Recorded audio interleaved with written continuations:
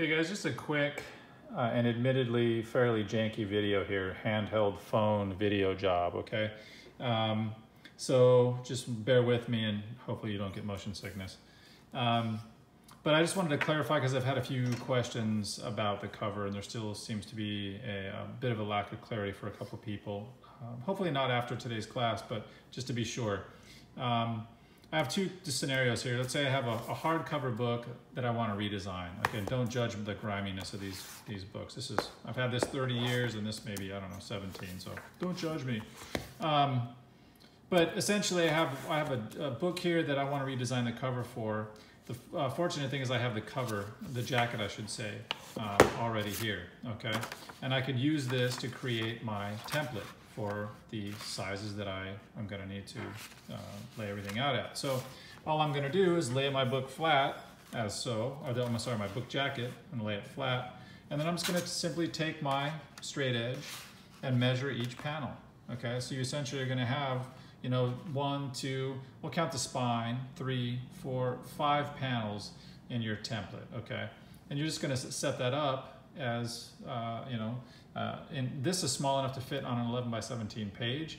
I would just go in and you know make a template, um, divide it up exactly as this is uh, measures uh, exactly as this measures out. Okay. One thing you want to compensate for when you're measuring, say, anywhere that has a, a fold in it. Okay. You want to consider uh, that there's going to be a little extra space required. Say an eighth of an inch or so. Okay, an eighth of an inch in decimals is 0.125. So you're going to want to add maybe another, uh, you know, an extra eighth of an inch between the, the flap and the cover, okay? And that's roughly because it depends on the thickness of the book that you're applying this to, okay? Uh, how thick the paperboard is and everything. Um, so just, you know, you might have to test it out a little bit and, and approximate it, okay? But you're essentially compensating for that thickness as it wraps around uh, the corner here, okay? So just be aware of that. So if you add that extra eighth of an inch, say, you could, you know, split it in half and divide, you know, put part of it on the flap here and part of it on the cover, okay? Because what you want to be aware of is, let's say you have a cover, um, a flap here that has a flood of color on it. Say it's black and you have white type. And your, let's say your, your uh, front cover is, you know, natural or, or just a white even like this. You don't want that black bleeding over to your cover. So you just got to compensate for that, okay? So remember that when you're setting up. And the same is going to be true for anywhere, you know, where it folds on your spine on both sides. And then when it folds to the back flap, you want to add in those little bits of extra space, okay? So just to compensate for that.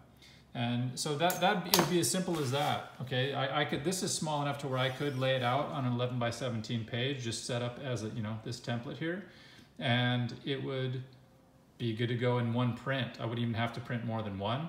If your book is longer, you know, the, the whole jacket is gonna be longer than 17, uh, you know, this is gonna, depending on, uh, depending on where you're gonna print too, there might be, you know, different size limitations. So if you're printing a place that can go larger than 11 by 17, that's great, especially because some of you might have a book that's taller than 11 inches. If that's the case, make sure you do your, your research ahead of time and know where you can print, okay? And be, uh, make sure you can print at the sizes you need. Uh, and so just be aware of that.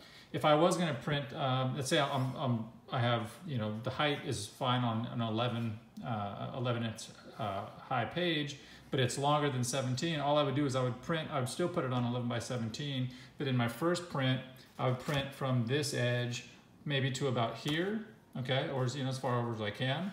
And then on my second print, I would maybe start here and print the rest all the way to the end.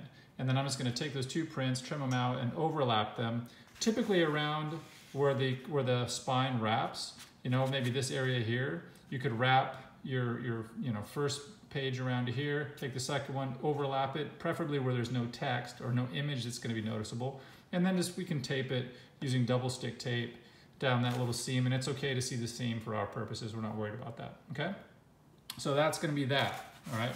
The other thing I wanted to clarify is, um, you know, if you take an existing book, say like this one, this is a soft cover. I just started reading this and it needs bad help. It needs help in a bad, the, the worst way. Okay, good content, terribly represented.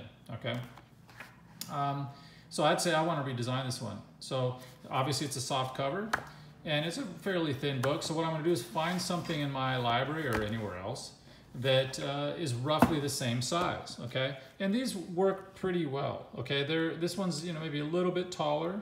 No, it's actually about exactly the same height. Not bad. Okay. Uh, in terms of the width of the, of the covers, pretty close as well, okay? Almost exact, actually.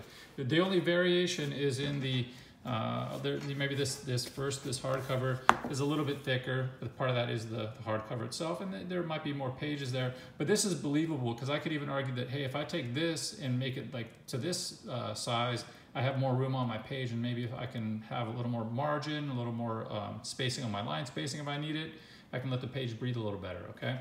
So again, it doesn't matter what this book is, okay, the hardcover, you're just using it as a form, okay? So don't worry that these aren't the same thing. Uh, and then what you're gonna do is if you're designing to this and you don't have the jacket, as we did on the last one, then you're simply gonna measure out, okay, how much you know space do I need on that front cover, all right? Compensating again for this little edge here. Don't be fooled by this little seam, okay, this is maybe a quarter inch, but again, it's gonna wrap at this little corner here where the spine meets here, okay? So you're gonna wanna measure that little space there, that little space there, and compensate for that. Now for the flaps, okay, well, what do I, what do, I do for the flaps?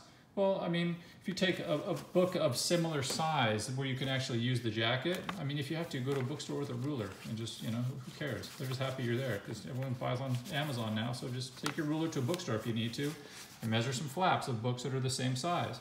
And if I look at this one here, and measure this out. This is comedy here with one hand. Um, I'm going to see that it's roughly, let's see, you know, three, uh, let's see there. It's going to be a little more than three, okay? And so if I'm looking at three and a quarter there, then I'm going to add a little bit of that space where that, that little uh, division is between the two, and then I'm good to go. So I'd add maybe, you know, three, and a quarter plus half of an eighth of an inch, and I'm good for my flap in this situation, okay? And I think that would work fine for this, for this cover that we have here, okay? That's it. And I know that some of you may already have a, a grasp on that, but I wanted to make sure um, to clarify. Hopefully that did. Um, and if you have any questions, make sure you get a hold of me. All right, thanks.